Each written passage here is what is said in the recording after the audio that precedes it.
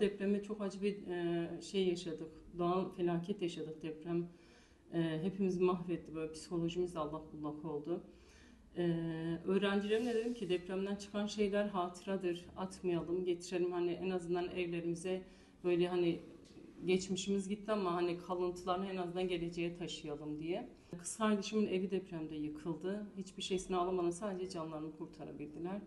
Daha doğrusu e, daha sonrasında depremden sonra işte o yıkık olan binadan bazı parçalar çıkardı. Bu parçalardan bir tanesi de şu gördüğümüz tabloda kullandığım kot pantolonuydu. Abla dedi hani bunu bana bir kalıcı bir şey haline getirebilir misin dedi. Ben de tamam dedim. Bizim sculpture diye bir sanatımız var. Şu pasta rolyeflerle yaptığımız ve spatula eşliğinde yaptığımız bir sanatımız. Ben geri dönüşümle sanatı birleştirmeye karar verdim. Kot pantolon zaten bir parçalanmıştı. Parçaların hepsini bu şeyin üzerine e, taht- tahta panonun üzerine monte ettik. Daha sonra işte bizim özel tekniklerimiz var. Onlarla şey yaptık. Ceplikler de bizim annelerimizin önceden kullandığı ceplikler vardı evlerinde. Dedim ki hani öyle bir şey olsun. Hem tablo sanatımla birleştireyim hem de bir e, kullanılabilir bir şey olsun evde.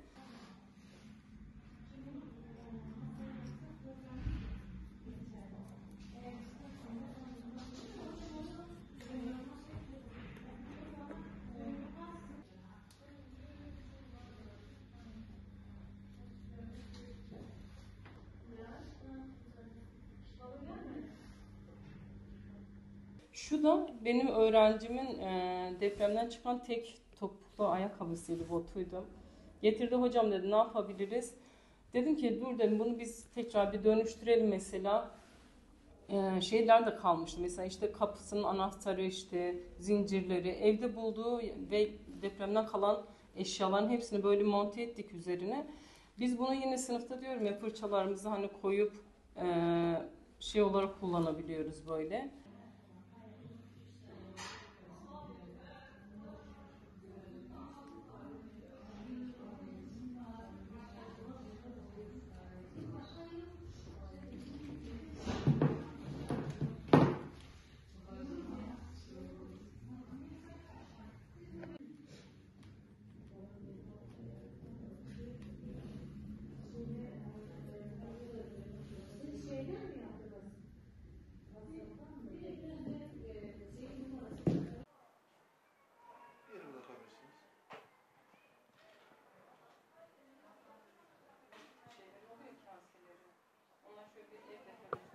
Çizmeler mesela bunlar da işte yine bir e, depremdeki bir öğrencimin evinden kalan çizmelerdi çıkarmıştı.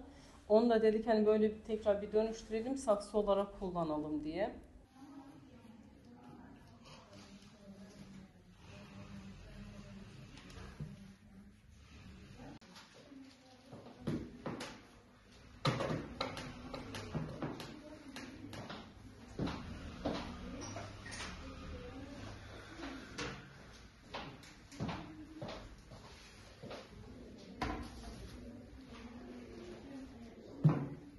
Enkazlardan topladığımız atık malzemelerle geri dönüşüm yaptık.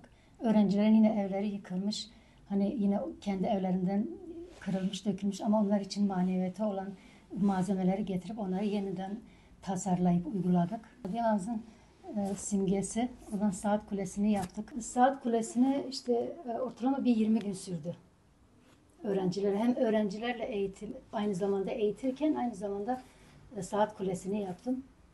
İçinde şey var, karton, yine atık karton kullandık. Geri dönüşüm olarak kullandık. Ee, üstüne derz yaptık.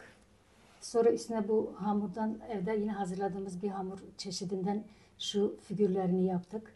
İşte boyalarını metalik kullandık. Burası strafor, şu bölüm. Şuralar straforla çalıştık, boyadık. Yine derzle kapladık. Bu yazıları yine aynı şekilde Kuşu yine hamurdan evde yine hazırladığımız bir hamurdan yaptık.